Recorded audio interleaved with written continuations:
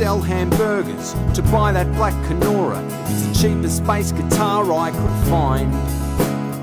Working on the late shift, 10 till 6 was pretty stiff when you're on the minimum wage. And at 3 a.m. the drunks roll in.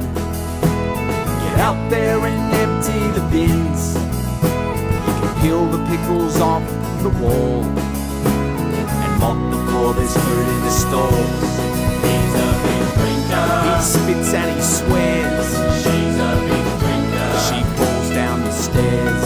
He's a binge drinker. He's everyone's mate. She's a binge drinker. There's blood on her face. It's been such a long week, working with all the other sheep. We'll have a pint before heading home. The next you know you're in a round, man for man and pound for pound. Well, who put that pepper in my phone? Well, it looks like we've missed out on tea. So we might as well stretch it till three. You can sober up with burger and fries. This is what they call a top night. He's a binge drinker. He spits and he swears. She's a binge drinker. She falls down the stairs.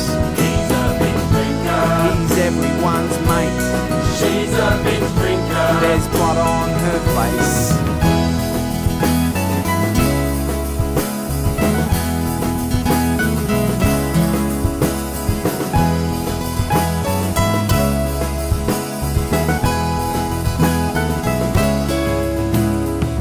You're only 16 and two years off an ID, raise your age with shirt and a tie.